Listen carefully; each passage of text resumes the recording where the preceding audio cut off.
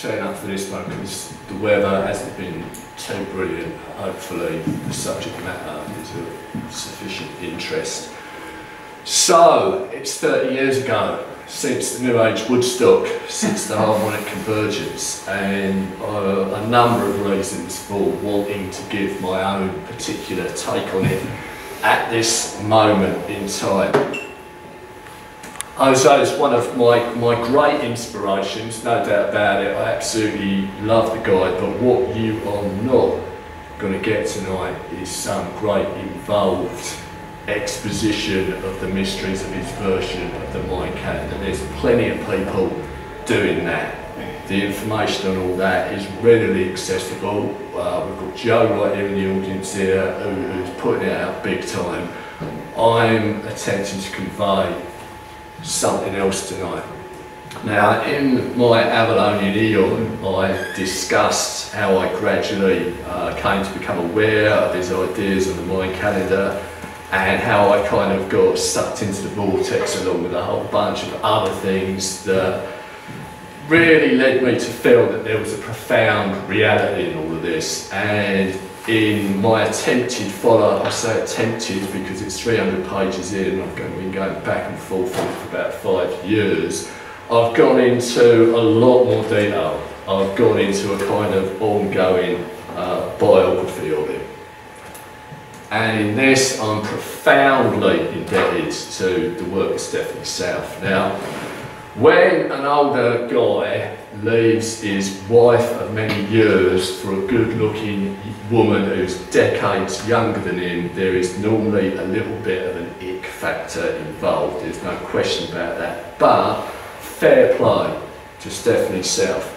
Uh, her work expounding the whole life of Jose is exemplary I simply would not have been able to construct this lecture without the first of, the, of these two works, the 2012 biography of a time traveller, which takes us up so far, up to the harmonic convergence and beyond, and then when things get really, really involved, and I'm not going to go too much into this, the second work uh, covers all of that.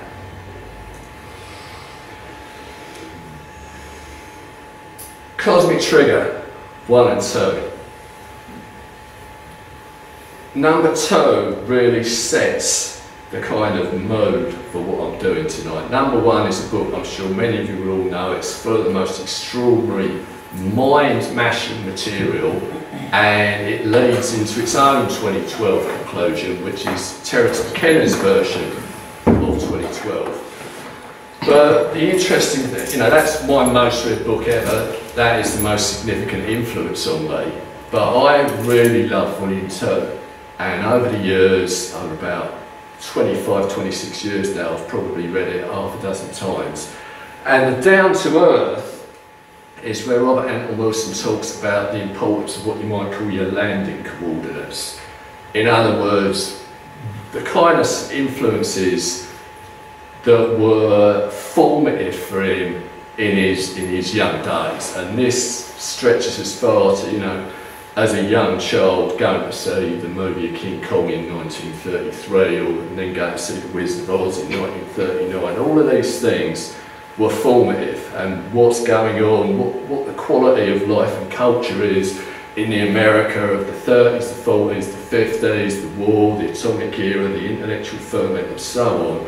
All of this is important to understand the full context of the 60s and the ultimate psychedelic voyage. And I've always been a history freak, and in my, my Crowley book, I start off by saying that you know I was born in 1959, so I came to consciousness in the 60s, and my parents had been involved in the Second World War. They were part of this enormous great thing that had only been 20 years earlier, and it was like two completely different realities and I absorbed a whole bunch of stuff during, during that, that first 10 years of my life. The, you can't, uh, you know, you can't overestimate the importance of, of, of the mix of influences. I, I can just about remember seeing the very first episode of Doctor Who in, in 1963. I can remember Beatlemania. I, I remember getting a sense of the emerging world in 1968 when, when I was nine. You know, I remember because Martin Luther King was killed on the 4th of April and my birthday's on the 5th of April. I remember on my ninth birthday, in the morning playing with a little car, dinky toy or whatever, on the carpet, while on the radio I was hearing that this guy Martin Luther King had been killed. And I remember Mexico Olympics, the Black Power salute. I remember Grosvenor Square and the demonstration stroke riot and how um, the Golden Shot on Sunday afternoon with Bob Monkhouse was postponed in order to actually live coverage of the Grosvenor Square riot. These things, they're all part of what goes into your head. So, Jose, you know, what I'm going to talk about tonight is the formative influences because I feel that all of these influences, whether you are drawn into the intricacies of the Vision of the Mayan calendar or not, the nature of these formative influences are the story uh, of the formation of the New Age and the nature of, of Glastonbury and a whole bunch of things in the modern world, regardless. And they also, when you see how they work, through the emerging consciousness of a great artist and a great visionary, a shaman, you also, I hope, take inspiration that the whole of our formative influences can maybe be our raw alchemical material. So was born in 1939, which is a pretty powerful year to be born for starters. And when he's 14 years old, he goes to visit, and you're going to get some dodgy Mexican place name pronunciations from me, okay? Just all right. Teotihuacan at the age of 14, and the Pyramid of the Sun. Uh, this is quite an interesting little version of what the place might have looked like in its prime. And he's up there and it's a sunny day and he suddenly gets a very strange sense of timelessness you know, the, the voices of the people around him, the things that are going on around him as they're just talking and moving around are on a different kind of level of time. And he feels this kind of sense of light arising. And whatever this feeling is, he's sure that somehow or another the people that built this place that lived here, the high culture that existed here, had some kind of knowledge and understanding of that, and, and that that feeling, that space, was part of the key. You know, and this set him off, and a few years later, he first kind of came across uh, the Mayan script, the Mayan symbols, and, and found it compelling. You know, as somebody with an artistic temperament, found that there was something about the form of it that was really, really interesting to him. So he's comes to his, his, you know, his mid-teenage years at the time of birth of rock and roll, at the time of the emergence of the Beat generation, you know, his, his Ginsberg and Kerouac in their prime. He's at college and he's, he's going out to nightclubs and, and listening to, uh, you know, bluesmen, he's meeting John Lee Hooker, he's reading Jean-Paul Sartre and Camus and all this kind of thing. He's soaking up the whole vibe of the time, the beat generation and so on. And this is the start of an academic journey that serves him very well because he's able to become uh, an art historian He's ultimately able to become a PhD as an art historian and teach at universities, and this gives him a tremendous amount of slack, especially in the 60s, to pretty much do whatever the hell he wanted, you know, which is, which is great. So fast forward to 1963, and here's the legendary Martin Luther King, Civil Rights, Washington, I have a dream moment. And there, in the huge great crowd, is Jose. And there's no question that, you know, there was a quite extraordinary level of power, emotion, energy, intensity, inspiration in this event. Uh, it was something that had a tremendous knock-on effect on society at the time. And somewhere in the back of Jose's consciousness is that sense that these enormous unified uh, events have a tremendous potency and that they are, you know, something to strive for. Now, it's been following his inspiration, you know, for 10 years since he's, he's first gone to the ancient sites. But in 1964, um, this is a place, Xochicalco we'll call it, well that's what I'm going to call it now, a place where the historical Quetzalcoatl is supposed to have, have hung out. And Jose goes there and he then goes on to Acapulco and he's caught paratyphoid fever uh, and he nearly dies. And, and this is, is actually the start of a sequence of these kind of experiences for him. Throughout his life, he, he has death and rebirth experiences. He has pretty damn physically heavy stuff happen to him. And while he's got this fever, he's in a delirium. And he sees visions of, of Mayan culture and he sees a particular male and female who, who try to heal him in some way. They do a ceremonial dance, a chant, and he has this vision of himself returning from the jungle with a treasure of some kind. Now this is, is absolutely classic shamanic near-death stuff. This you could see quite clearly as the seed of, of what is to come, you know, over 20 years later. So as part of the whole excellent deal of being a, a in the academic scene, he gets a travelling scholarship to Paris, you know, in 1967, and like a lot of people, uh, does a whole shitload of acid. And on one occasion, he's, he's coming down and he's trying to read a book about the Tibetan adept saint, Milarepa, uh, one of the most famous, probably actually the most famous of all the Tibetan saints, and he comes to feel that in the way that you do when you're coming down off a huge great trip acid, thinking about something like this, that maybe he was Milarepa in a past life, it primes him. It primes him to look for a Tibetan teacher um, from that point on. And he starts, you know, he's painting during 67 and he, he, feels that he's seeing with what he called Venusian perception, and he's aware of the fact that this is, is the uh, planet associated with Quetzalcoatl, the main Mesoamerican deity, and he starts just sort of putting these weird Mayan symbols into the paintings that he's doing, and just staring at them. And, he, and at one point, he feels that he's sitting in a, in, in a, circle with a group of Mayans who are projecting this thought form into a crystal ball that is then being projected into his own brain. And then an Australian Aboriginal character turns up and hangs around in a plane combat. It's 1967, man, you know, this. And he starts, as part of his artistic work, he takes records these spontaneous conversations where he's kind of gibbering in funny languages and funny words and just coming up with all this spontaneous stuff.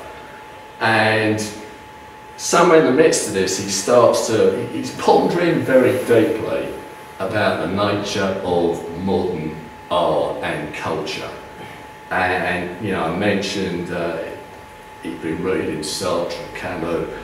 Uh, these alienated guys are, are not providing soul food for you know the coming generation and just around about that period of time you know Colin Wilson is, is creating a new existentialism so, from the perspective of Jose, who is really now tuned into what is art, what's, what's it all about, what purpose does it serve, how will it serve society, how will it, it fulfill uh, the needs of this, this new generation.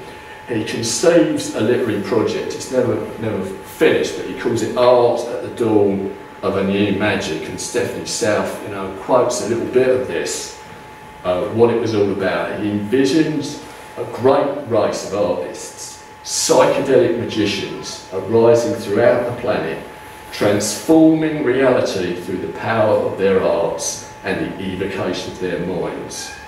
Through conscious artistic creations, they will tap the potential of human spirit, change the way people perceive themselves, and ultimately inaugurate the dawn of a new magic where the collective vision would change reality. So again, this is 1967, so this in many respects is already happening uh, on the world, the political scene. It's Abbie Hoffman, founder of, of the Yippies. Somebody is looking at the whole situation in Vietnam, protesting Vietnam, and trying to look at the new ways of doing this. And, and there's an interesting document also that Allen Ginsberg had drawn up, bringing in a, a, a kind of air of absurdism, of surrealism into uh, political protest meetings, which is, is very uh, intriguing. And part of the whole um, zeitgeist as well, the band The Fugs. Now I think I've, I've slightly jumped ahead with the, with the album recorded in my hand, I think that was 1968. But there's a famous track on there with a quote which is kind of via Plato, if you like. When the mode of the music changes, the walls of the city shake. And this is really uh, what 67 is all about. And a plan is conceived, an amazing anti-Vietnam protest is conceived that is going to basically, um, in October 1967, they're going to uh, surround the Pentagon and perform a ritual of exorcism to expel the demons of war from the Pentagon. And it, I don't know where you can see that, but it, it, there's a whole plan there. You know, out demons out, back to darkness, servants of Satan, out demons out. Uh, and there's a whole list of deities right across the whole spectrum, right across the whole world culture. Uh, and, and the idea is set in motion. And First of all, about 100,000 people gathered and, and went as far as, as the Lincoln Monument and from that basic group, about 30,000 went all the way to the Pentagon and you've got an absolutely astounding mix of people. Yeah, you've got Abbie Hoffman, you've got the Fugs, you've got on the one hand um, a real hard-ass literary figure like Norman Mailer. You've also got the occultist filmmaker Kenneth Anger, mm. and in the midst of all this, you've also got Jose Hazelum, and you've got some iconic stuff. This this is right up against the Pentagon. You, I know people seem to have a short-term memory problem with this kind of thing. We've seen a lot of this stuff more recently in America. This is where you know the iconic stuff came from. This this is a 17-year-old girl um, famously standing right in front of all these guys that are not that much older than her, a lot of them, uh, with fixed bayonets. And the famous images of, of people putting flowers in the guns and so on, this all derives from that period. And here's Ed Sanders, this is actually uh, at the moment of the ceremony, he's screaming out all, all this stuff. Uh, and it's interesting, prayer for the soldiers and their violent karma in Vietnam uh, but a whole bunch of, of stuff. And, and, yeah, they do. Uh, there is some film footage of it, and here and there on YouTube, I think you can actually hear recordings of, of, of Ed Sanders and the Fugs doing all of this. There is this massive out demons out. So it's, it's, it's, it's a whole new mode of functioning. You know, it's, it's, it's kind of a magic ritual. It's also surrealism it's also what I used to call a happening, and it's also politics, and it's all a, a way of attempting to undermine, to transcend um, the set patterns of power and authority, to somehow make them on a level of the game that they're, they're unable to respond to.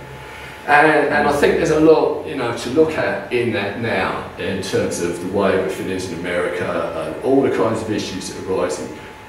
This is where we get to with 67. By 68, uh, it's turned to street fighting man and revolution and it's all, you know, it's degenerated. The Democratic Party convention uh, turns into a, a massive great punch-up when the police wade into demonstrators and so forth. But at this stage, what you've clearly got is, is a template that somebody like Jose is not good. You're not going to forget if you've been part of something like that. You're going to remember it.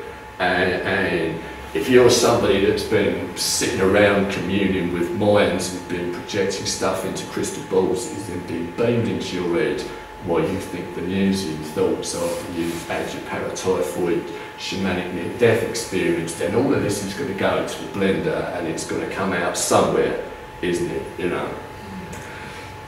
So in 1968, this is Salvador Dali, in 1968 with Brigitte Bardot, um, and it's interesting that, that oh, well, he's, in New York, and as part of what he was doing, he, he created a happening, what they used to call a happening, outside the Museum of Modern Art in New York, a, a bit of street performance that was linking through to Dada and Surrealism. He had a whole bunch of people with their bodies painted in masks and waving banners about and dancing through the streets and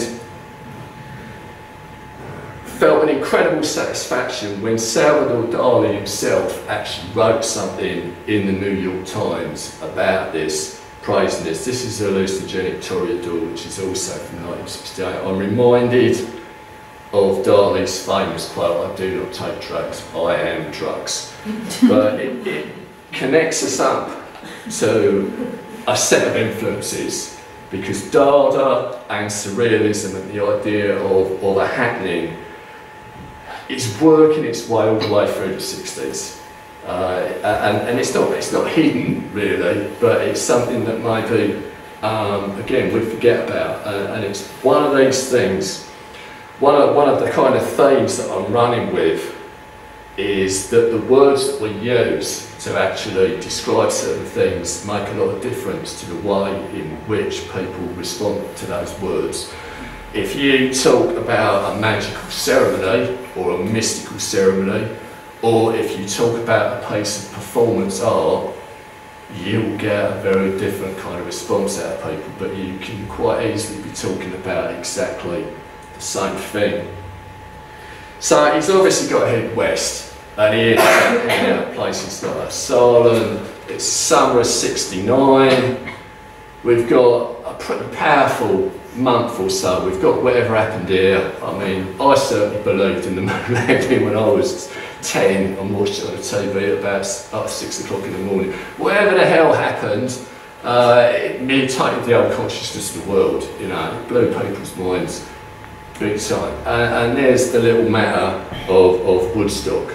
You know, we think that the Pelt Festival sometimes gets a bit on the large side, but you know, there's, there's the template for large right there. Jose was married at the time and he had a son called Joshua who was born in July, just before the moon landing, just before Woodstock. So if you think about what everything was like then, uh, the sense of extraordinary expansion possibilities, limitless possibilities that there were then. So just take a note of those dates, August the 15th, 16th and 17th, you know, that was the epic three days of Woodstock and sure enough, you know, things kind of walked out and went a little bit downhill and it was, you know, only a matter of months later that we get all the on and the whole thing seems to go um, a little bit problematical. But there we are. The people that took it, uh, got that far with it, what I felt they weren't going to forget Ari, and it's not like they would have ceased to feel that what they believed about it was, was not important. And it's just a couple of weeks after this Jose meets Tony Shearer. Now, Tony Shearer really needs um, to be bigged up in terms of his importance. Without Tony Shearer, no harmonic convergence uh, and Jose's entire sense of, of, of the Mesoamerican canon system would have been very, very different. Very interesting guy, Tony. He's, he, he had um, Lakota Indian blood, and during that whole period of time, the Vietnam era, he got really, really um, emotional about the continued mistreatment of Native Americans right across, you know, North and South the whole continent from the time of Columbus to the present day. And he'd been working with Time Life Broadcasting, CBS Television, and he resigned and he went on this kind of beat poet, flute playing odyssey in Mexico and he met um, a Zapotec woman who, who functioned as some kind of priestess and uh, introduced him to tribal elders and shaman and started talking to him about the calendar system that they had. And he found his way to a place called Santa Maria del Tule, which was associated with a potential historical Quetzalcoatl. Now, I, have found it very interesting uh, over the years. There are some fruitful parallels between Quetzalcoatl and, and King Arthur. Um, you have a whole bunch of mythic material. You have some material that seems to be part of fragments of religious belief that go back who knows how far, but you've also got a historical figure who appears to be anchored to a particular time, and somehow he takes all this upon himself. Well, you've got a similar kind of thing, like you've got the Pendragon false, and you've got Arthur as the embodiment of it. So you have the feathered serpent, and you have somebody in the 8th century AD who was the embodiment of this. And he's supposed to have, you know, it is quite a funky image of that feathered serpent concept. He's supposed to have hung out at this place. Now, there's a really famous tree. It, it's, it's a Mexican icon. Now, you can see just from that image that that is one big ass tree. But as you kind of step out a little bit further, it gets even more ridiculous because this thing, this thing is believed to be somewhere between two and three thousand years old. It is considered by some people to be the biggest and the oldest living thing on the face of this earth. The, the bottom of the trunk is like 164 feet around. The weight of the whole thing has been estimated at 550 tonnes and the trunk of it, I don't know where you can see that bit, but there's a whole row of weird shapes in there that look like animal forms. It's become known as a tree of life. It, it's very, very famous in Mexico. And there are associations with Quetzalcoatl, and Tony Shearer went there and hung out there and, and talked to people and started writing poetry and, and didn't just look at academic sources. He would wave in something that he'd heard from a taxi driver or something that he just picked up from somebody that he met there. That this was all living mythology, living history, it was vital and alive. He started to work on this.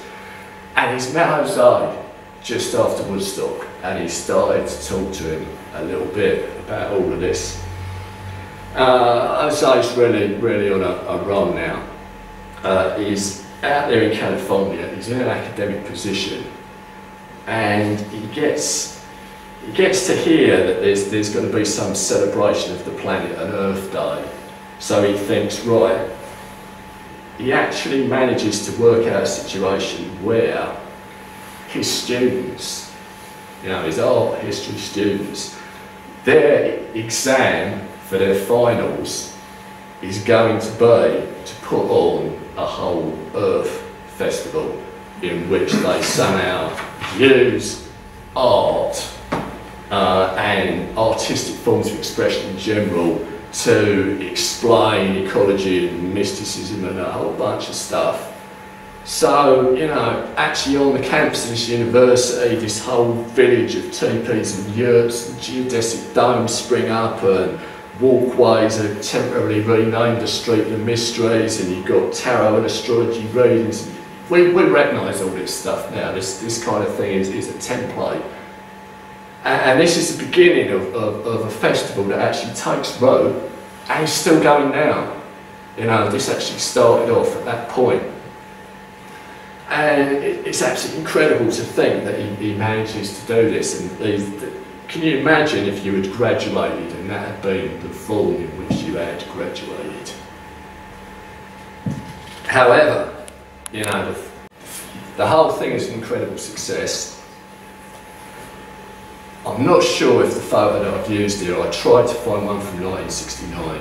Uh, it looks like it's probably there or thereabouts, but it was decided he should be relieved of his teaching post. Uh, so to prevent a general you know, controversy, he just resigns anyway. At this stage, a very interesting chap comes into his life, which is Dane Rudhyar. Dane was a very multifaceted chap, you can see him all moody and artistic in that younger shot. Uh, trained in music and so on. Childhood illness means that he loses a kidney, so he's unable to participate in fun and games like the First World War. He devotes himself to music and creates this experimental uh, atonal music. You can find something on YouTube. Uh, I really like it, it's really interesting. He's, he's, a fascinating guy, but he's probably best known as an astrologer. You know, there's a, number, there's a few basic books on, on basic astrological subject matter that are out there and are very popular and you know still to this day. But he's also a lot more esoteric in his interest, and that title, the planetarisation of consciousness, is a bit of a giveaway for anybody that's familiar with Alice Bailey. He knows Alice Bailey, she actually publishes some of his work, and in 1939, he heard that Jose was born, he wrote an article for a theosophical magazine uh, called The Artist as Avatar. Uh, there's some really nice artwork as well, I think, uh, by I think it's quite, quite pleasant. In The Artist uh, as Avatar, he basically says that at the end of great cycles, that's when the most important artists incarnate. And their task is to provide a template through their own lives for the next cycle. And Rudhyar basically said to uh, Jose that the whole Earth Festival was an act of seventh ray ceremonial magic designed to dissipate negativity and that Jose was one of these next cycle avatars. So that's kind of a nice thing for somebody to come up and tell you, you know, that's going to set you up a treat. But now, you know, we move into the level of intensity because I mentioned that uh, after this Milarepa acid episode, that as I was looking for a teacher, well, he certainly managed to pick one in 1970 in the form of Chogyam Trungpa, who was also born in 1939, so he was the same age as and you think to yourself at that point, they're just, they're just gone 30 years of age.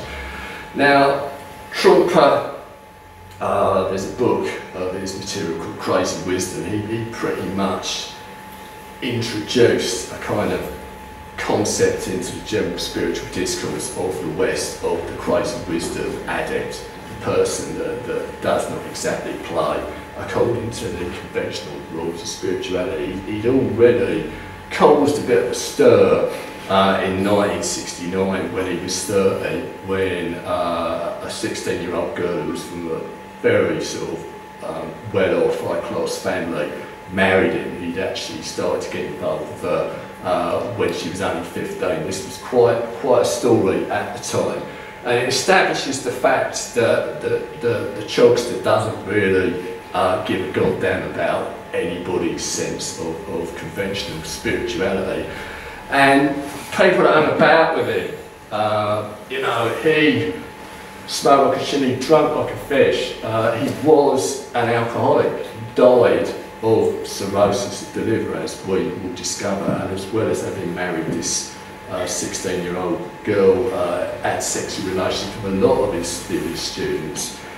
And there are lots of stories of, of, of, insanely intense parties that are going on in this situation, but people are also being flipping blasted by this transformative power. So obviously very, very controversial shit. As somebody that's Rajneesh saying, yes, you know, I can, I can handle that, but not, it, it, there's no question there's casualties. When I was going through, looking for some pickies, um, I spotted this quote and I thought this was, was, was a pretty cool one actually to sum up the Chogster. The bad news is you're falling through the air, nothing to hang on to, no parachute. The good news is there is no ground. And Trungpa is very well known, you know, at the time. He, he, he crops up everywhere. Here he is with, with Allen Ginsberg, here he is uh, with Ram Dass. And one of the concepts that he hits the ground running with is something called Dharma art.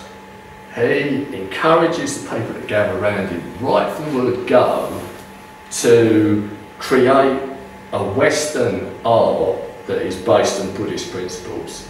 So you're not just copying the forms of Tibetan mandalas and copying the forms of, of, of the various, you know, bodhisattvas and whatever, but you are somehow the contemplative space. And he was very, very um, clear with people about the importance of literally when you start something, the point, the very first point where your pen or your pencil or whatever touches the canvas, that there is something really important in that and the, the level of presence that you bring to it is extremely important. So José gets involved with Trungpa 1970 and the first major work that he publishes, Mandala, I remember a mate of mine having a copy of this in the 1970s and we used to just you know sit around and stare at it after we'd had a whole load of spliffs. This is actually, uh, there's an intro by, by Chogyam Trungpa on this one. And a whole bunch of, of really excellent art that Jose was producing um, during that period from the 60s into the early 70s is all um, included in there and gives you a little bit of a, of a sense of what is coming.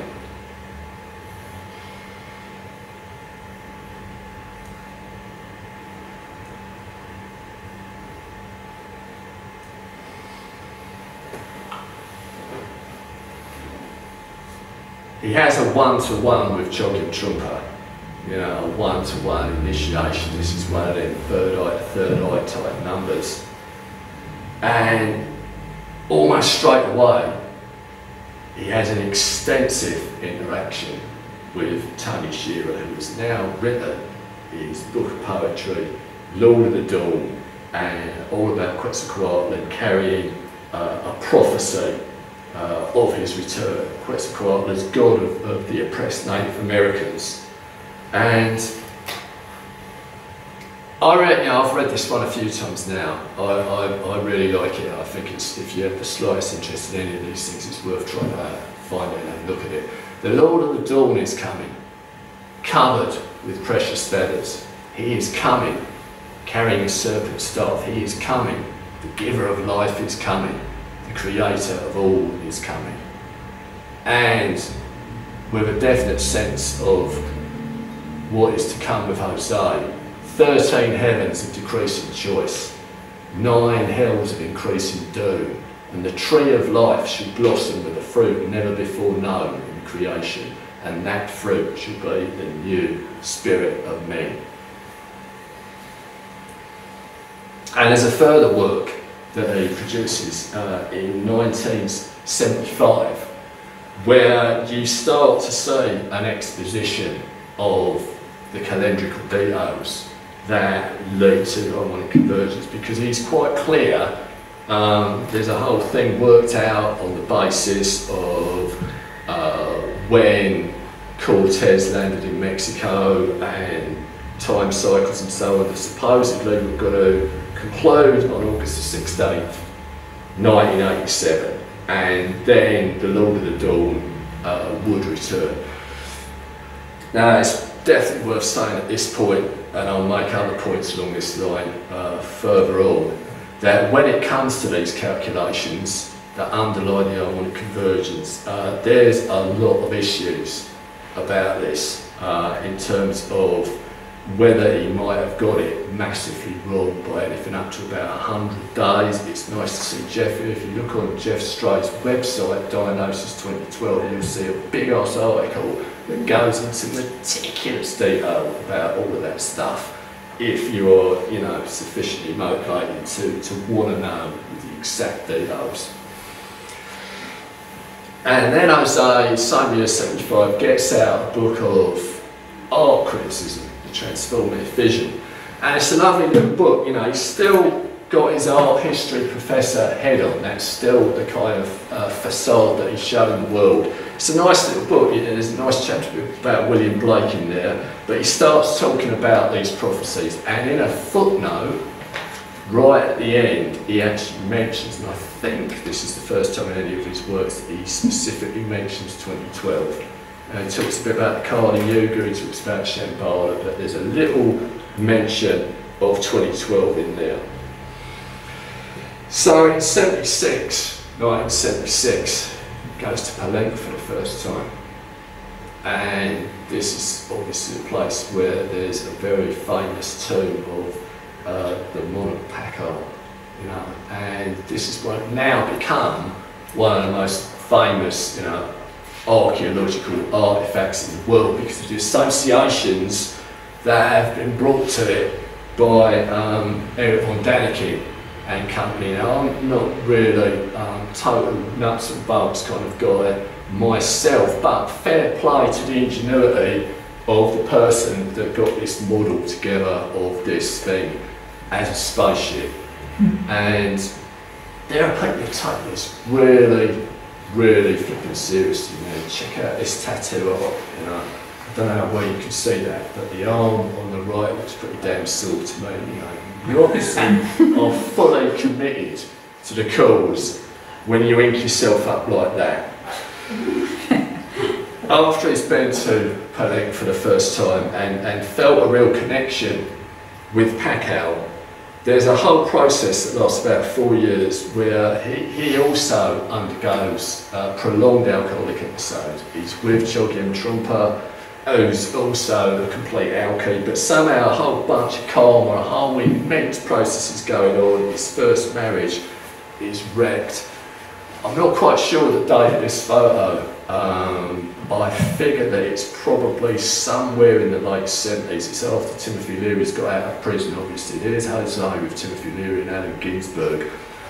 So that contextualises him you know, I think sometimes if you come to him only through harmonic convergence and everything that happened since in 2012 and his whole identity as Pakal uh, and, and so on, uh, all this, you forget that he is also part of a wider culture and a, a, a wider um, phenomenon.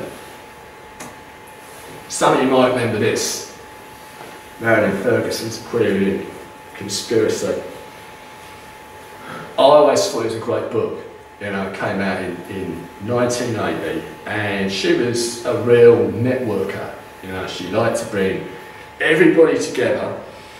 And there was an occasion when uh, she met with Jose and she said, um, you got a bit more time if, if you hang around. There's this guy called Richard Hoagland turning up and, and he's got these fabulous photos with him.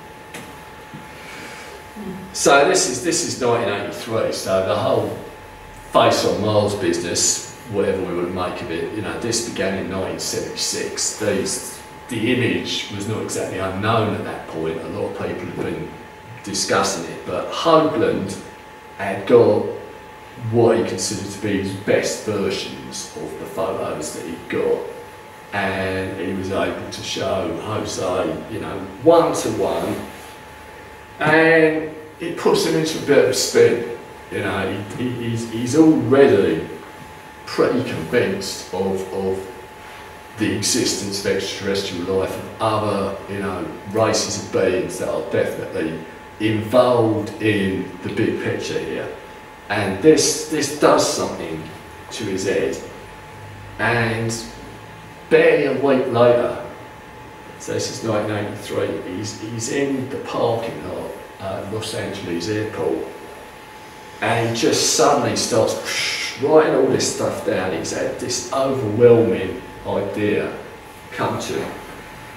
And it, it's, it's about this period of time that Tony Shearer talked about, the period of the end of the nine hells. And he sees a, a large group of people all lying in a circle with their heads all, all pointed towards the centre, where there's a fire burning and, and Something about these faces all looking up makes him think of the face on Mars. And he heard the words Earth surrender right.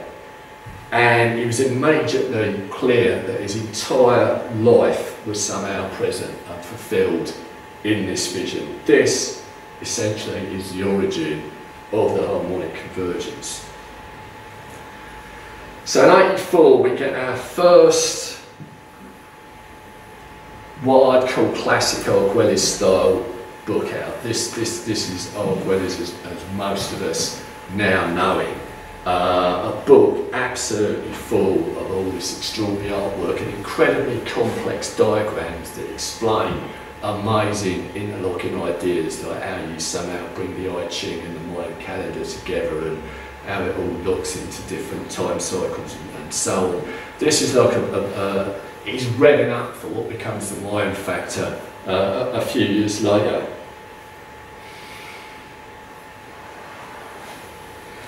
So clearly he's already been pointed towards 1987 as the period of the end of the Nine Hells and he's looking at Shearer's dates in the middle of August and he's talking to people about it. And in February 1987 there's uh, an unexpected uh, supernova which is, is called 1987A which makes all kinds of pretty pictures in the sky and it's pretty obvious, you know, the people that are gearing up for this big cosmic event are going to feel that this is some kind of very auspicious little, you know, preview that it's going to be a big year. Uh, and the feeling that ETs and interdimensionals and whatever are involved is obviously very much enhanced by, you know, the appearance of something like this. And it is intriguing in terms of marrying up all the time cycles and working out the what and the wherefore that there was a big Tibetan Kalachakra cycle uh, which actually came to an end on 28th of February that year, 87 again, Geoff Stray and John Major Jenkins' book suggest what you'll find an awful lot about all of this. And then, you know, barely a month later, April the 4th, 1987, Chogyam Trungpa dies of cirrhosis of the liver. And mere 12 days later, the Mayan Factor is published.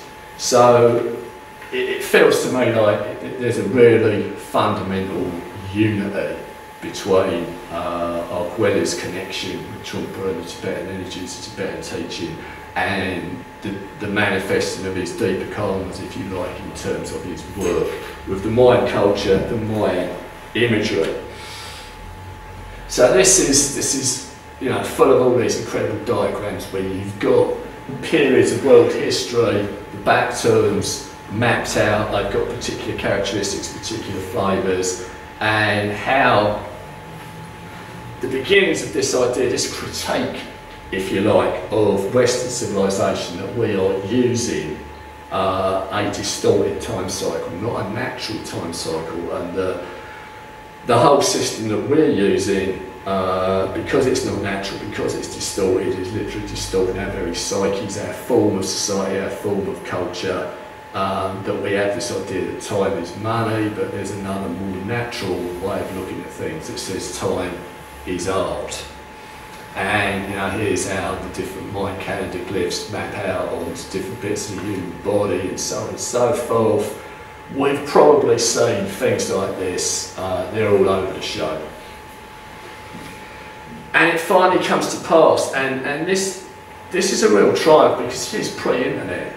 You know, in terms of, of, of getting the word out, the means to do that were immeasurably different in far off 1987 to what they are now. But the interesting thing is that he had broken through into the wider media. That American TV news channels, uh, some of the major newspapers, uh, you know, newspapers in this country were carrying the story about this big event. And the idea really was basically go to any sacred site in the world, try and just go to as many of them as possible and be there for sunrise on, on the 16th. You know, that's the, the central time. But essentially, you know, uh, it's predicated by old complex calendrics that, that Tony Shearer has worked out, but it is not, it is kind of intriguing that when we call it the New Age Woodstock, and they only started calling that it, that about a week beforehand in, in, I think one of the newspapers used that term, that it's covering the same period of time, you know, the same days in August that Woodstock had back in, in 1969. And it wasn't a case of do a particular thing.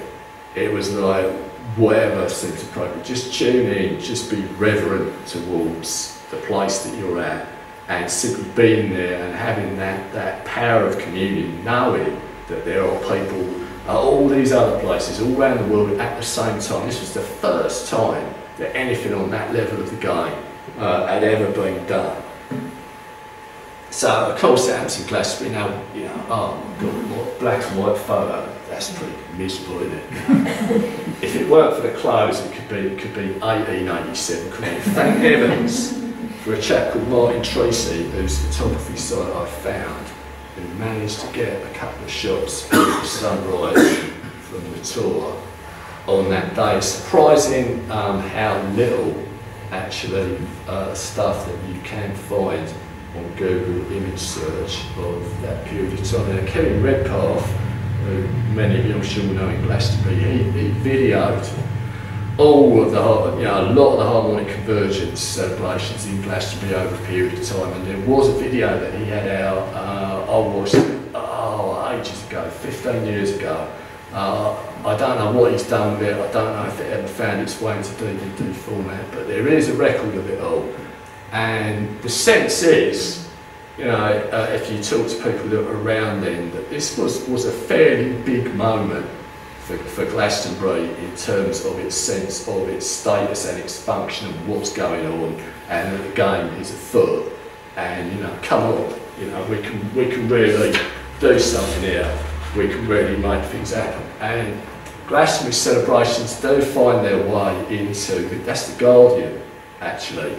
And, and there's Robert Coon, and it's got to be said, you know, Tony Shearer didn't mind too much that Jose uh, was fronting this thing that essentially came um, from his uh, ideas, but, but Robert Coon, has to be said, uh, was a little bit more conflicted about Jose because Robert, and I've talked a lot about his work in, in My Eon, Robert been on this thing as well, from a lot longer than Jose had been on it. He'd been he'd been out to Ortule in 1967. He'd actually buried some crystal thing uh, in the vicinity of the tree with a sense that it was. He met Tony Shearer. He'd gone into a whole bunch of stuff with him.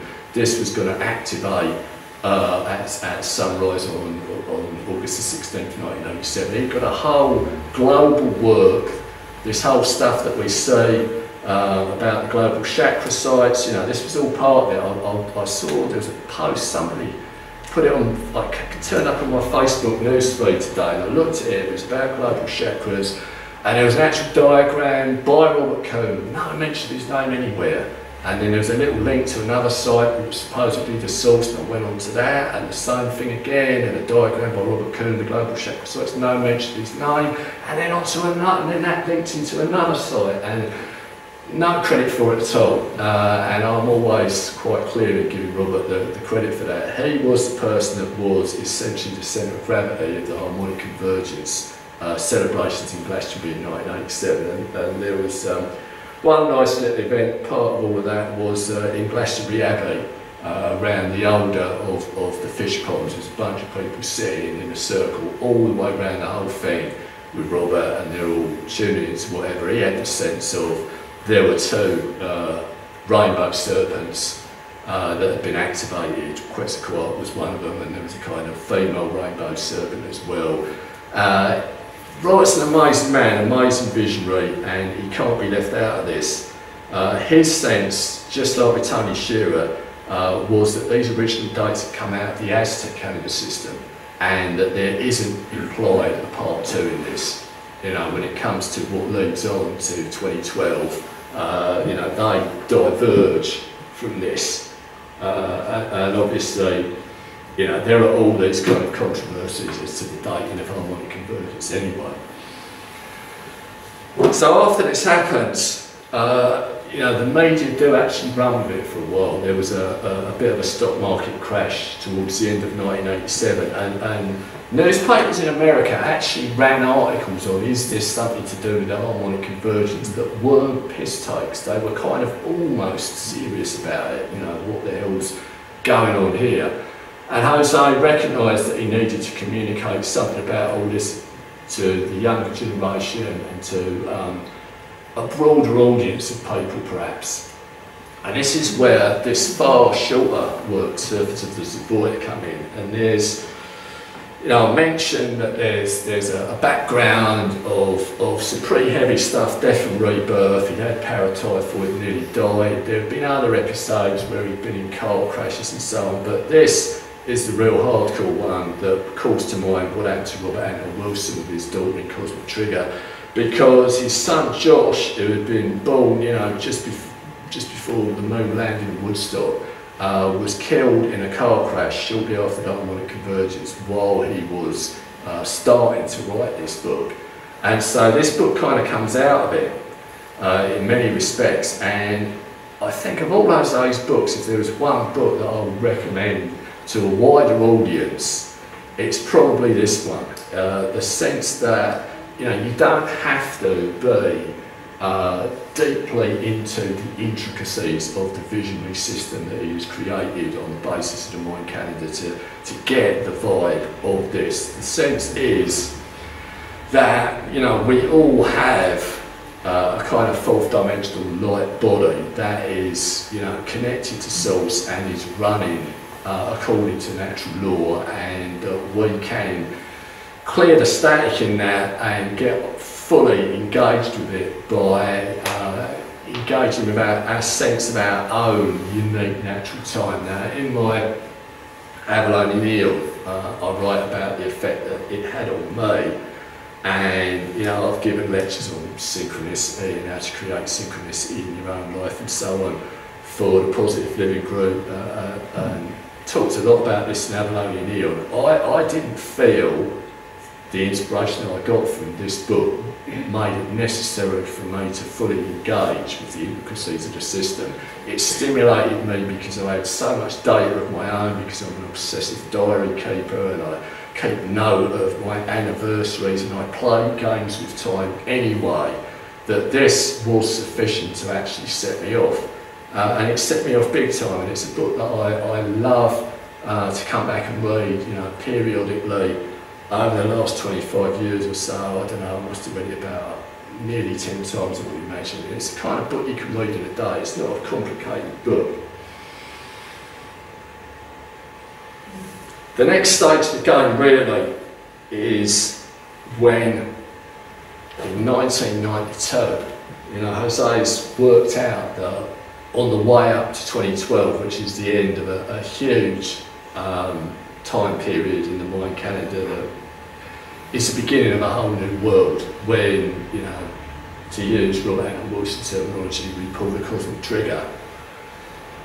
There was a period where there's a bit of fine tuning, if you like, and this began in 1992. And Jose comes up with this thing called Dream Spell, which is his kind of uh, Mayan calendar, do-it-yourself oracle, if you like. I'm, I'm, sure a number of you have got have had these over the years and maybe still got them used, and you know, I, I certainly did for a while.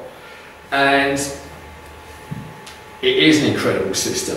It is a triumph of a visionary genius. I'm not in any doubt at all about that. But there's also no doubt about the fact that there is tremendous controversy as to whether you can really call this uh, an authentic Mayan calendar rather than a version of the Mayan calendar, you know, produced by visionary genius. And again, um, people like John Major Jenkins and Jeff here, the intricacies of all of that uh, are fully covered. You know, one of the things that comes out of this um, is of course this idea of the day out, day out of time, which is an absolutely, it's a beautiful idea that there is a kind of a day between years where essentially you, you step out of consensus reality and you return to you know inspiration and you you return to source and you. But if we're looking at calendar systems of the living Maya that there are tribes in, I think in Honduras and so on, that have been using a calendar all the way through. There are some significant differences here, but does that mean you can't get a result out of this You know, if, that, if the harmonic convergence was a, a hundred days out in its calculations, does that mean, does that somehow invalidate the epic nature of it? No, it doesn't. But I think it's important, it's really important to bear these things in mind. Now we're seeing this little image here, um, this red circle with the three dots, the three circles in it. And this brings in uh, a very, very important influence in the latter part of, of life, which is Nicholas Roerich, the mystical Russian painter and explorer. An amazing man, and it's kind of intriguing the way my lectures and so on are kind of shaping up this year because um, 1997 was the 50th anniversary of, of Roerich's death and I thought that somebody would probably do a presentation on him in Glastonbury. When it became obvious that no one was going to, I thought, oh well, I guess I'm going to have to do it. Uh, and I did.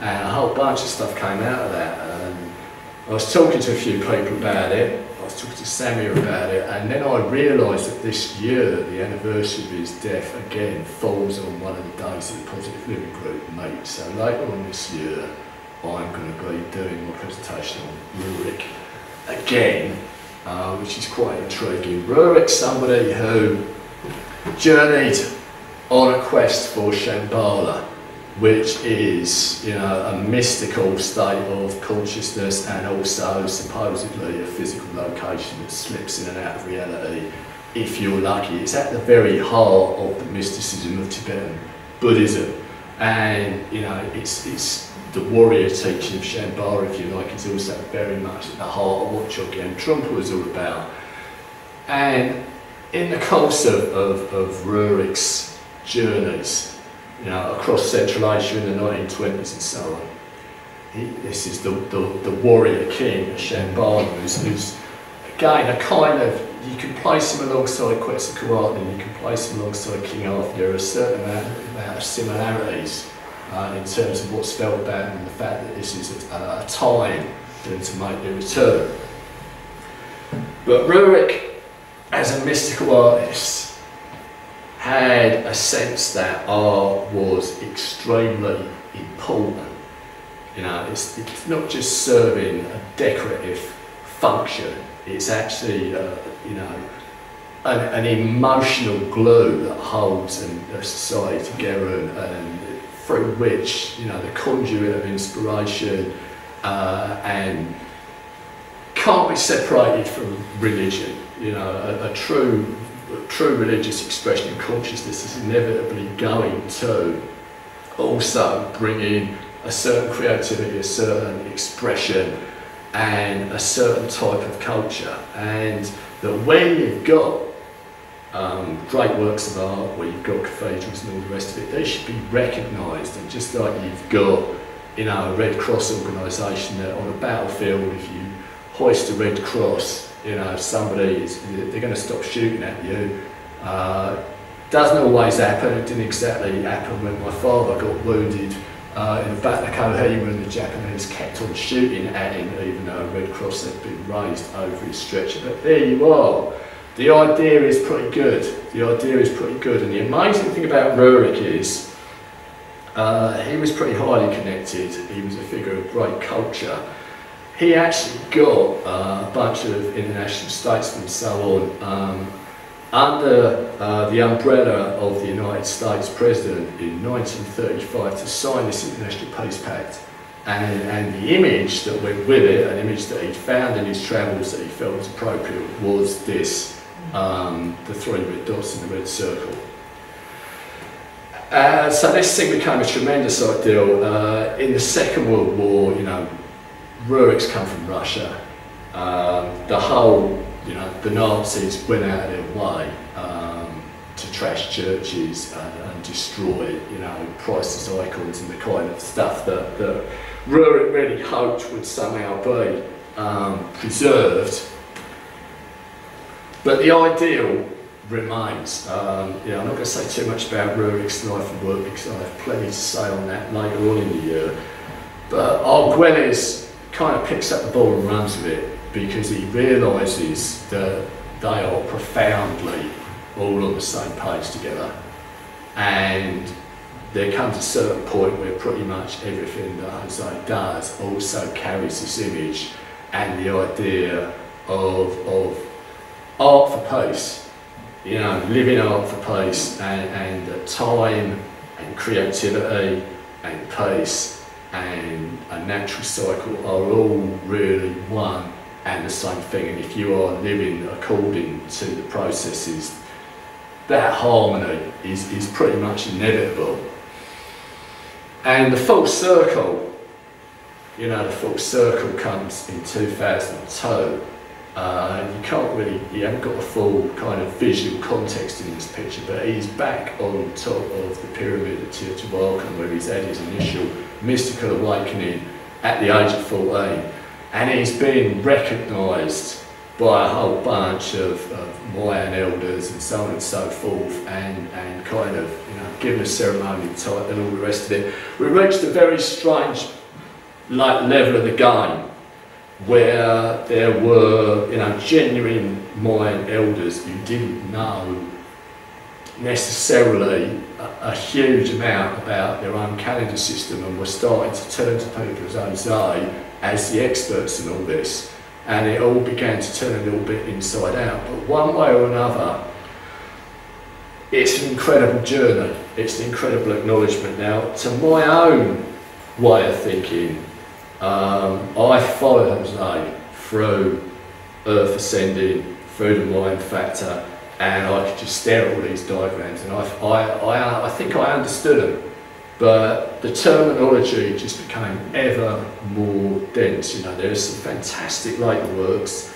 Time in the Technosphere that was inspired by, by 9-11 is an amazing work, but the stuff gets more and more involved and, and more and more, um, for me, disconnected from my reality. I found that I simply could only follow him so far, and it is, you know, it's a strange thing that he, and also Terence McKenna, who was the other great prophet of 2012, that neither of them actually lived to see 2012. You know, they both died before and That's, that's a, a mysterious thing. But I've made use of this quote in Avalonian Aeon, you know, who owns your time, owns your mind. Own your own time and know your own mind you know, there, there, there's a whole bunch of stuff, uh, and I, I, I, do, not really going to say too much about it tonight, I do go into it in Avalonian Aeon.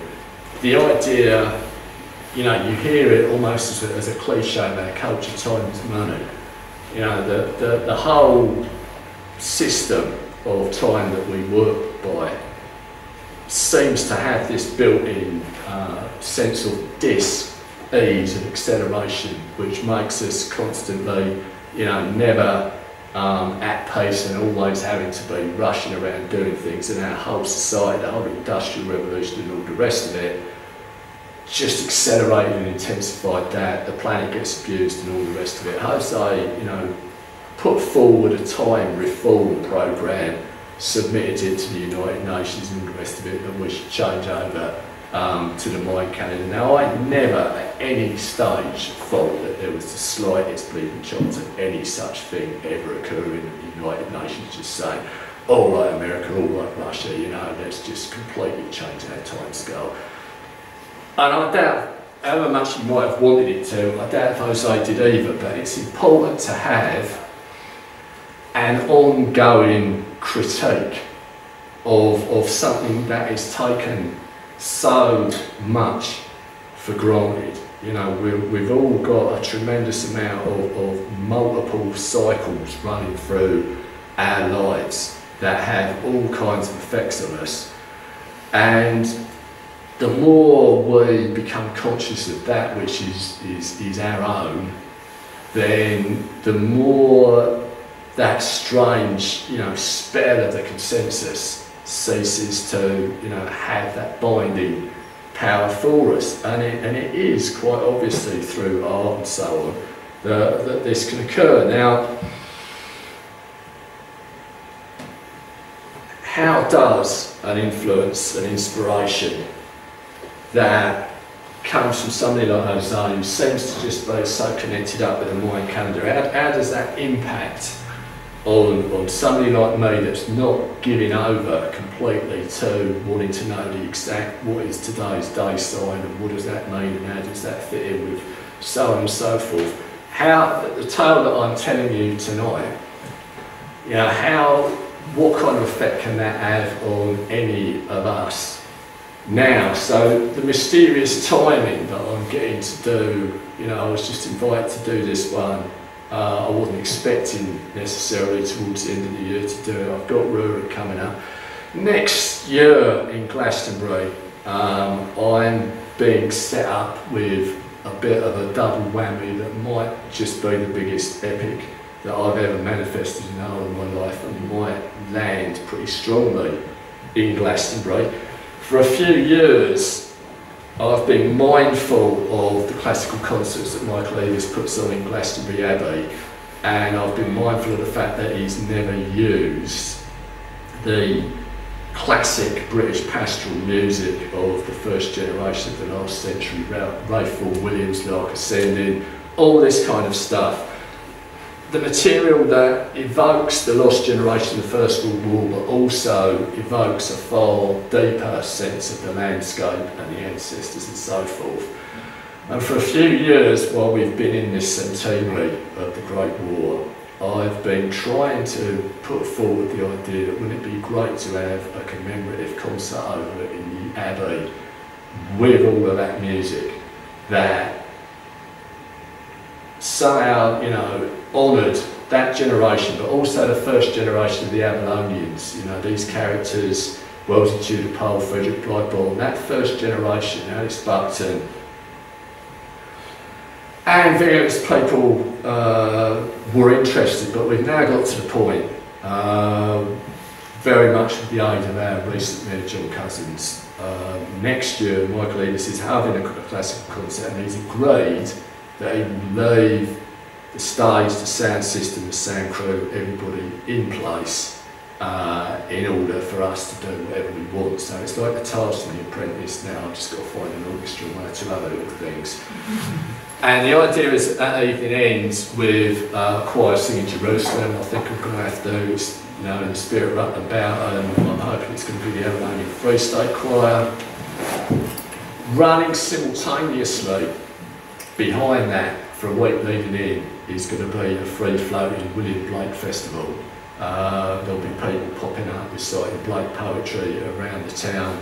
We'll have a conference probably over the road in the June Pay and we've already hired out the town hall uh, and the idea is that we'll get some of the psychedelic musos around and we'll have an epic evening we've got Blake artwork projected everywhere, we've got people singing and performing Blake poems and songs and there'll be a few, you know, uh, spacey synth and 10 minute guitar solos thrown into all of that. So that's a real, that's the 60s, that's the 60s spirit, spirit of that, that, that timeline. And there's also the first generation you know, beginning of the Avalonians, beginning of the 20th century, all of that running in together, all that running into both things climaxing with this performance at Jerusalem and a huge consideration of what the hell does that mean and what is it all about. Now, basically, in the back of my mind as the meta perspective for what the hell am I doing is everything that I've just told you tonight and also everything that I'll be talking about when I give the Nicholas Roerich lecture. This is an example of how you run with that general emotional tone, you run with that inspiration, and you manifest it through the raw material of where you live, what time of your life it is, what the time of the culture is, everything. You know, that is what I take harmonic convergence to mean. You know, and that is that is the, the success, the triumph of somebody like Jose. The, you know, I, I can take that and I can take that level of inspiration uh, uh, from him and I can use that raw material. So I hope that what I've conveyed to you in some way tonight indicates the fact that you know some of these great mystical artists, some of these great mystical figures, you don't have to completely buy into the intricate details of whatever their system of thought is. If you take the broad context of their life and times and the failing tone that's associated with them, then that can be a tremendous inspiration. It's like, how can I harmonically converge my own life? You know, our, look at all the inspirations, Bose in the 60s, Martin Luther King in the Vietnam protest and so on, and the whole Earth Festival and the people that he met and, uh, uh, and the meetings with Chogyam Trungpa. I really understand that because when I was writing my first book, Mysterium Artorius, which was all about um, Arthur, you know, Glastonbury Arthurian Grail studies, I was uh, going out to Germany and having darshan with Mother Meera quite a lot during that period of time. There were, there were a few years in the middle of writing Mysterium Artorius. I think I had two years on the trot, I had about 12 darshans in a year each year with Mother Meera. And, and I was coming back completely and utterly blasted and just like after Jose's had a one-to-one with Trungpa and then he makes Tony Shearer and he goes straight into that. So I was coming back from Era and just completely engaging in Glastonbury, the Grail, Gothic cathedrals, the failing of it, the tone that was with it was completely enlivened by that and it cannot be separated from it, which is why, you know, in Mysterium Artorius I've got a little dedication to Mother Meera, Living Grail, in all of that. This is the kind of thing that's going on and if we're aware of that and we speak the language of it and we understand the nuances of it, then we can cultivate the same things in ourselves, the same inspirations, and, and spread that forth because you know, anyone that's studying 2012 knows that it's not you know, necessarily something that it was that moment, 21st December 2012, that's it. It's an enormous great process and clearly you know, oh, all right, Space Brothers never turned up, but what the hell's happened to the world since 2012? It's completely and utterly barking mad crazy. So it's up to it's up to the, those that have got, you know, the understanding, the vision, that have got the sense of continuity, that have latched onto the history and what all this is all about, to carry it forward. We've all got responsibility in this. So on that thought, I leave it there and I say, yay to you all, yay. I've got a few copies of Avalonian Aeon here, they're only 7 99 tonight. There's lots of stuff about. Yeah, yeah. All right, yeah.